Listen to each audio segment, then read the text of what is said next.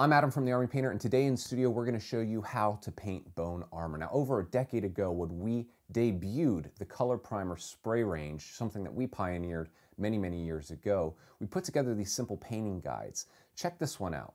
This one features Color Primer Skeleton Bone, which is a great way to paint up your armies and save loads of time with this two-in-one primer and base coat. We're gonna do something a little bit different in this tutorial. I wanna go for a, more of an ivory theme. We could use skeleton bone here and highlight up, but I'm actually going to start with color primer matte white. Let's take a look at the rest of the paints that we're gonna use in today's tutorial. We're gonna start off, of course, with color primer matte white. We're gonna use a glaze of skeleton bone in combination with war paints mixing medium, brain matter beige, matte white, and light tone. Recently, somebody in the Hobby Brigade asked me how to use a glazing method. Now we're gonna do a little bit of that here. Because we're going for an ivory tone for this armored model, we're going to take some of that skeleton bone, which I previously mentioned from our war paints range, we're gonna mix it down with our war paints mixing medium to really thin it down. We're gonna apply this all over the model like a glaze, almost like an all over wash to the model. And what this will do, if we do it correctly, is it will just apply a slight tinge, a slight tint to the model, and that's really what we're going for. Before we do that, we're going to have to prime the model, shake that can very, very well. You wanna get those heavy pigments mixed in, and you're gonna spray at a distance of no further than 20 centimeters. When you're finished, turn the can upside down and spray until the pigment stops coming out of the nozzle. That's how you clean the nozzle for perfectly clean spraying and priming in future projects. We're gonna apply some of our War Paints mixing medium to our wet palette, and we're gonna mix in some of that skeleton bone to create our glaze. Glazing is a method that just tints the model like I said previously. We're gonna apply this light bone tint so we can pull off a very clean ivory effect on this armor. Go ahead and make sure that those pigments are perfectly mixed in with that mixing medium and you're gonna be ready to start glazing. You can see that the model is primed white, very, very bright white, and we're just going to apply this glaze of skeleton bone across the entirety of the model. I like to use a larger brush. I'm actually using a vehicle brush for this method because the larger bristles will hold more of that glaze and allow you to pull the glaze and coat the glaze across the model very cleanly and get good even coverage. The effect that we have here is very, very subtle. Don't worry, we are going to let this dry and apply a second coat once it has. So just go ahead and continue applying this across the entirety of the model. Make sure it doesn't pool too much into the recesses. This isn't a wash, this is a glaze. We want those pigments to sit on top of the model. Once we've allowed that first glaze to dry, we are going to apply our second coat now. And as you can see on screen, once you begin applying that second coat, the effect really starts to show through, really getting that bony ivory effect with that skeleton bone glaze over top of our matte white color primer spray.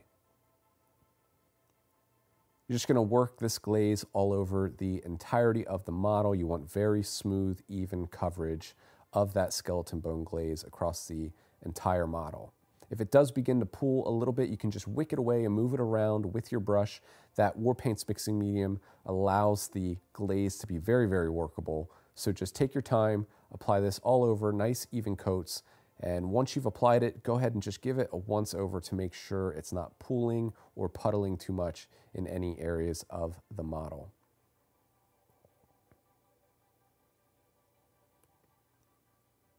You can see that the glaze does pool a little bit into the recesses, a little bit like a wash does, and that's fine, that's fine. But we are going to reinforce those details and that shading with a true wash in later steps. Glazing doesn't have to be difficult, it can be very simple. All you have to do is take some of that War Paints mixing medium, mix it in with your color and paint of choice, and apply it evenly across the entire model. Very, very simple stuff here.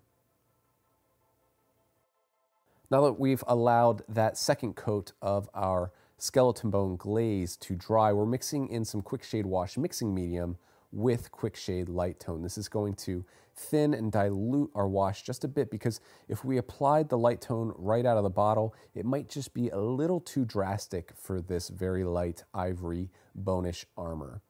Just go ahead and mix your quick shade light tone with your wash mixing medium Instead of using a larger brush and applying an all over wash with our Quick Shade Light Tone, we're going to be using a smaller brush. This time, I believe I'm using a character brush, and I'm just going to focus and trace this into the recesses of the model. This is going to really up the contrast on this very bright, bony armor. In some areas like here on the face mask, we are going to apply an all over wash. That's fine. But in the broader areas with the broader panels, we will want to be more focused and careful with our wash. As you can see here on the shoulder pads, on just the lower areas, I'm going to trace that light tone into the recesses and then drag it a bit up towards the top and upper portions of the plate to give it the effect that the shadow is getting deeper the further down the armor as we go. I really like to use quick shade light tone when painting bone and ivory colored armor because it has a slight orange, almost yellowy hue to it and makes that ivory bone effect appear really realistic. So just carefully wash this light tone into the lower and bottommost recesses of the model. You can see once that we begin applying this wash to the model, the depth and contrast of the model really begins to take shape. Now, if you were going for a grayer white armor or a grayer bone armor, you could give this a wash with uh, some maybe some dark tone mixed with a little bit of light tone and really thin it down and you'll give it a much grayer, almost white appearance. Once the wash has had time to dry, we're going to begin applying our first highlight. You can see that I blocked in some of the details on the model to give it a more finished look while we finish off the highlighting portion of this tutorial. I'm taking Brain Matter Beige here and I'm applying my first highlight. I like to call it a chunky highlight. You can be a little bit loose with this because we are gonna refine that highlight in the next step of this tutorial. We're gonna find all of the edges of this model and we're just gonna trace in all of this brain matter beige to bring out those details. Finally, we are adding some matte white to our wet palette. We really want to thin this down. White can be a little bit chalky due to the nature of the pigment, so you really thin this down with water. When you're applying it, our white does cover very strongly, so don't be afraid to thin this because when you thin the paint, it gives you ultimate control. As you can see, I have just very little paint on the brush. This is gonna give me ultimate control when applying this final extreme highlight. This time, we're gonna try and paint this matte white inside the brain matter beige, inside that chunky highlight that we initially applied. And we're gonna find the most extreme angles on the model to apply this final highlight to. On areas like here on the shoulder pad, you can just take the edge of the brush and trace the edge along the side. This is highlighting on easy mode. So be sure to go around all of the model, find those highlights, pick out the most extreme highlights with your matte white. This will be the final step in painting our bone, our ivory armor. So take your time here, be patient, and you're really going to appreciate the effects when you're finished.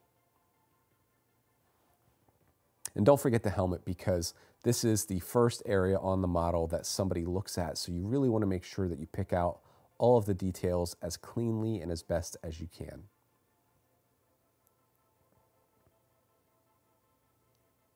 This next step is totally optional, but if you like to apply a little bit of weathering to your model, I have a very simple trick for you.